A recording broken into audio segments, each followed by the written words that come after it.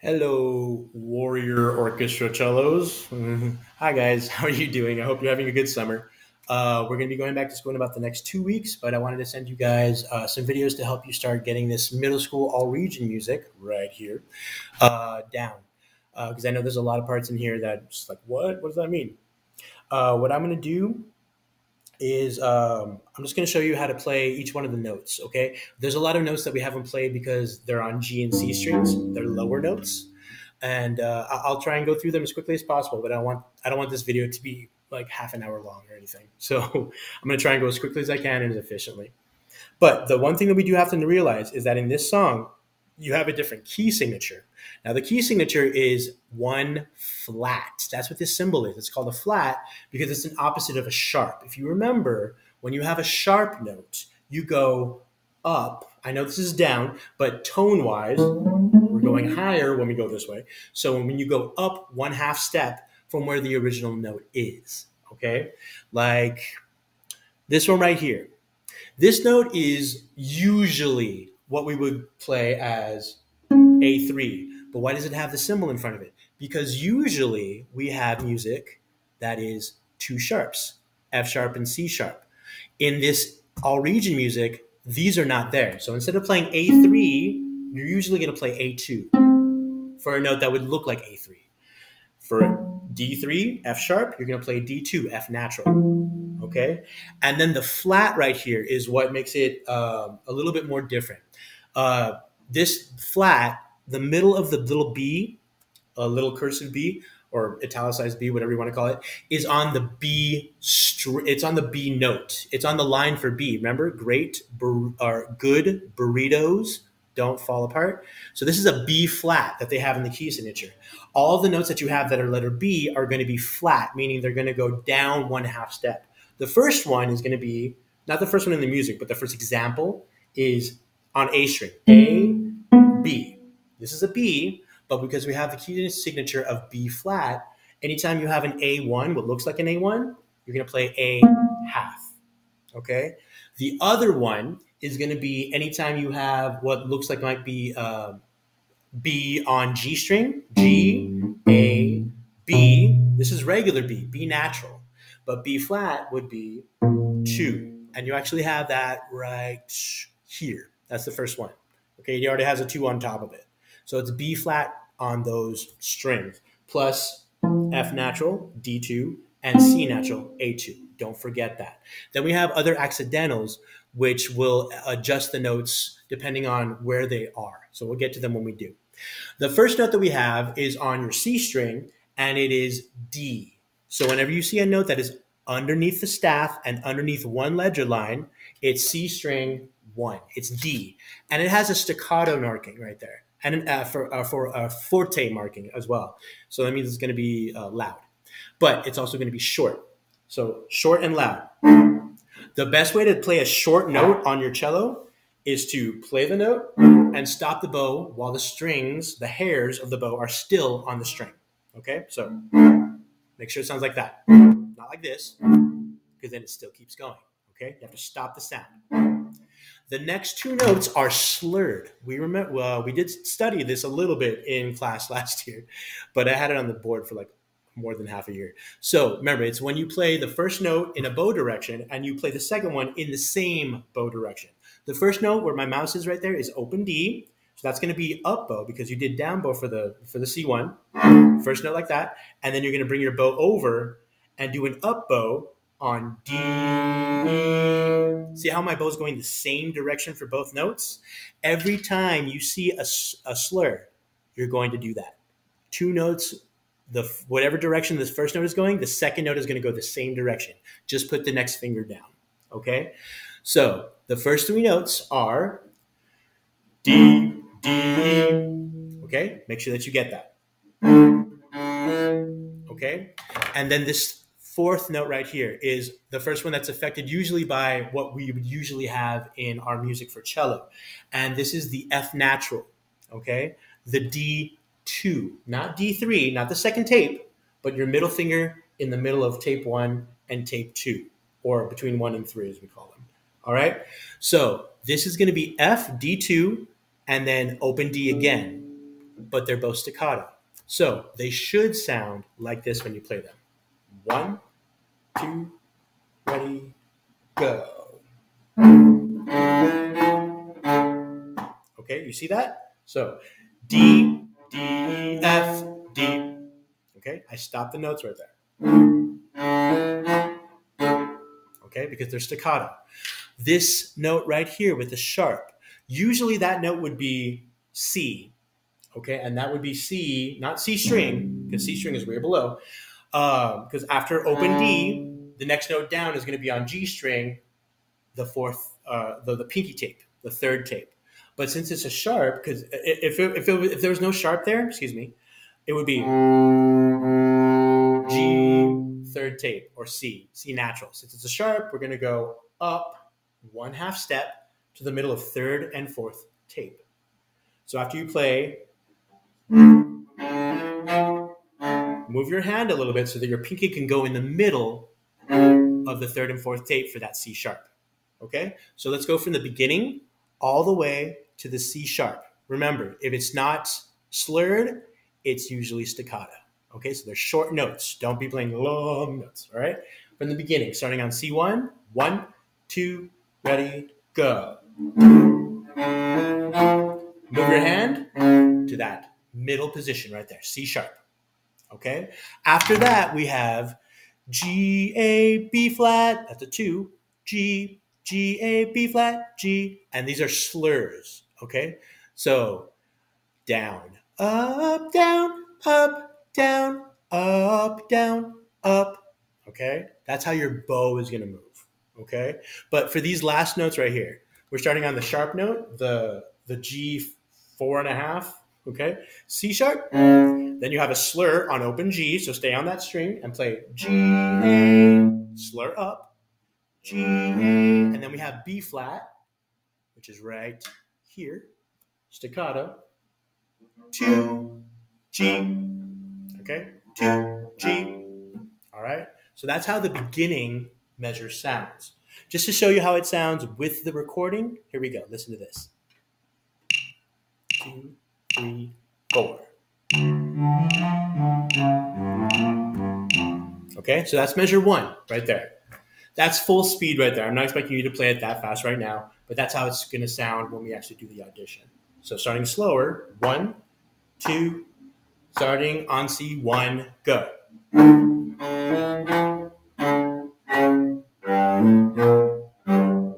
Okay, remember after you do the D, E, F, D, move your hand so that your pinky can get into the middle position of three and four. Then A, one, two, G. I said A, but it's G. All right. That's measure one. That's only one measure. All right. But all of those notes are involved in the first measure. When you get to the second measure, this first note is F, and it's F on C string third tape. So you have the same kind of system staccato, slur, staccato, staccato.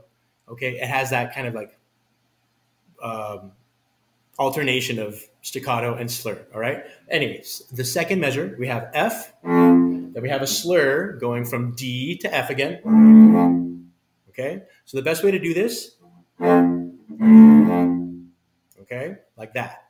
F, D, F. Okay, so staccato, F, D, F.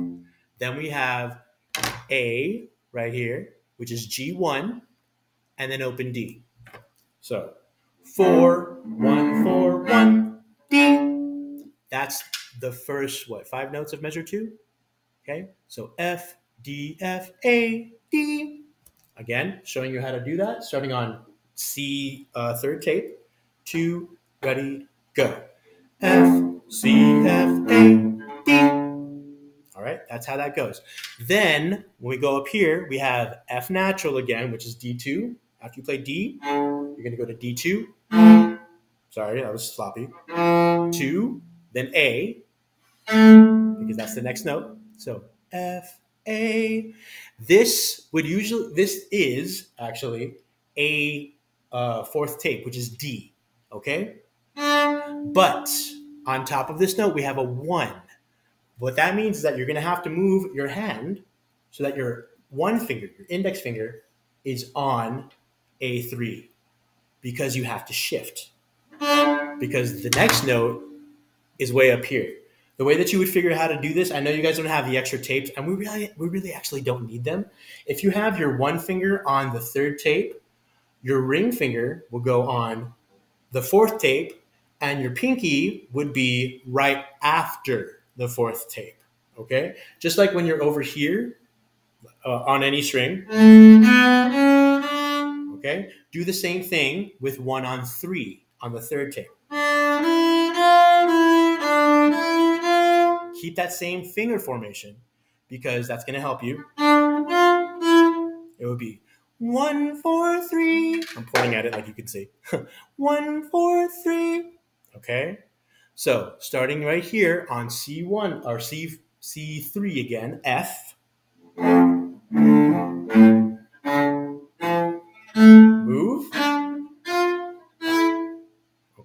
That gets you all the way to right here.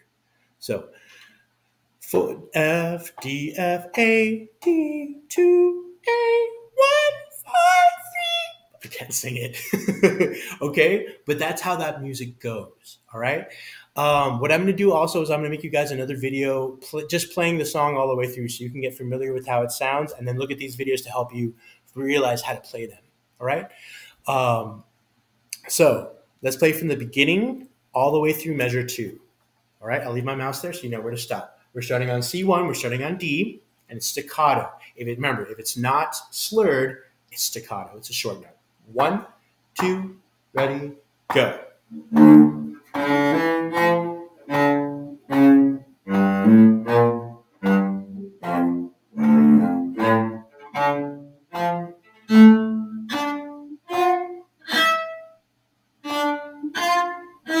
Okay, so just to go over those last three notes again, after you play A, you play a, th- a third tape or A4 with one, and then your pinky is right above the fourth tape. That gives you that F. Then your three is on E. Okay? After that, you go back down to G1, just like you did over here. So three. Then we have one, two, four, one, or A, B, C sharp, A. Okay? Now, this is G1. This is B natural. Now, what the natural sign does, this symbol right here, is it cancels out the flat or the sharp or whatever other symbol is connected to it. You just play normally. Now, that's going to mean different things for different notes. But for what we're doing right here, it will be G1, then B natural, which is you have to stretch your middle finger out to the second tape because the next note is C sharp, just like what you played over here. So you have to put your pinky in the middle of third and fourth tape.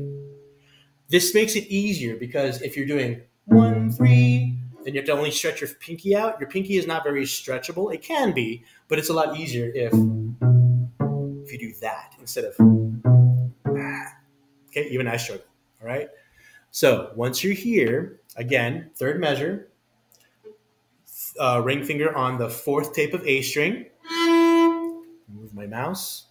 Then you have G1. It's a slur. Okay. One, two, four is in the middle. Four, A. Then you have G sharp. Okay. That note would naturally be open G, no finger. But because it's a sharp, we're going to go up a half step from open string, not to the tape. That's a whole step. It's going to be G half right there. Okay. So that note right there that I'm pointing at is G sharp. Lowered one. Make sure that your finger's in between the nut and the tape. That's that note, G sharp. And then you go back up to D. And then you have two again, F sharp or F natural. Okay. So all of measure three is starting with your ring finger on the fourth tape of A. So play that first. Then you go back down to G1, slurring G1, G, second tape with the middle finger. Then staccato note on the uh, pinky in between the third and fourth tapes. C sharp. Back to G1. Then G sharp, move your index finger down. That's G sharp. And then D, E, F, D. Okay, those are the notes in order. Okay, uh, let me see if I can play through this. I've I don't even know. Um, so measures one to measure three. There we go. Starting on D, C1. One, two, one, two, ready, go. Middle.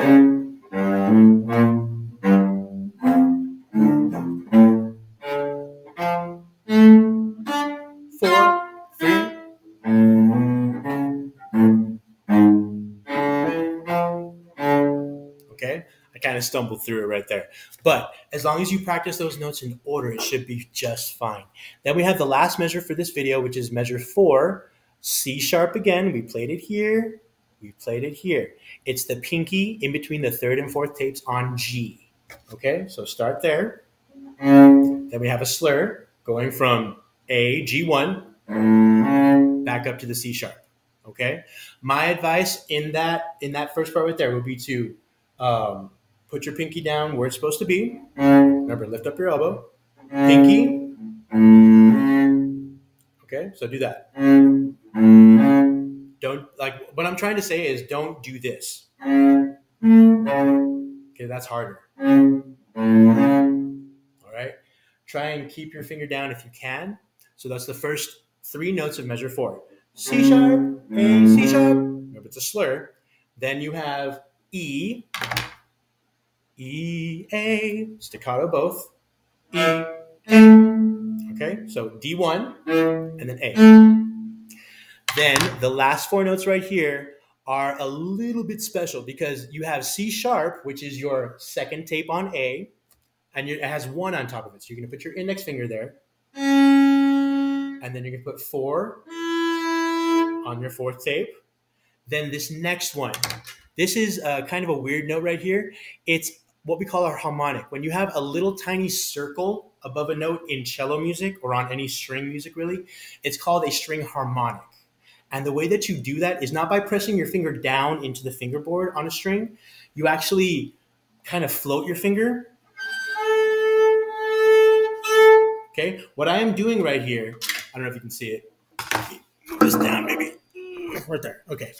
What I'm doing, put it back in the. Okay is that I am um, putting my ring finger and I'm placing it on top of the string, but I'm not pressing it into the wood. I just have it kind of on top of the string. And you should get that note when you're up this far. If you're not up far enough, right there. They want to hear it as a harmonic note, not as not as a note pressed all the way down.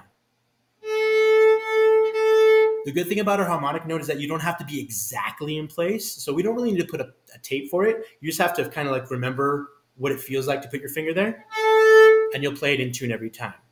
After that, you have four on the next note down.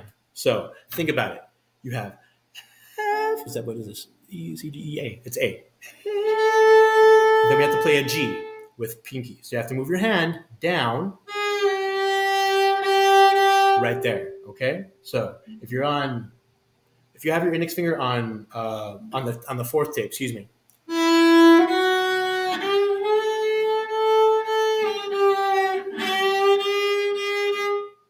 Messed that up. Hold on. Uh, C sharp.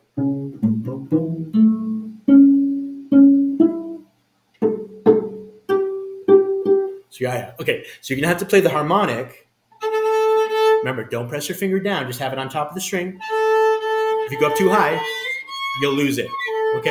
So just look for that note where you just have your finger lightly touching the string. Then bring your hand down and play the next note down from there. A, G. I will put tapes for you guys to know exactly where to put your fingers, but for right now, this is how you do it. Okay? So let's try and believe me, I, am not I'm not stressing that you guys need to play all this like by next week or something. Let's take our time with it. Okay, we'll take our time with it, and we'll learn as much as possible. That's the important thing.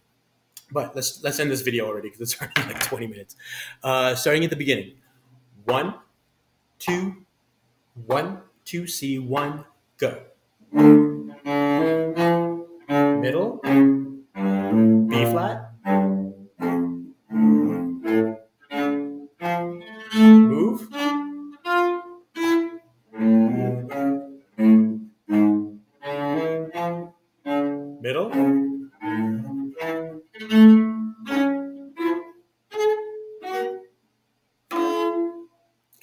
like that.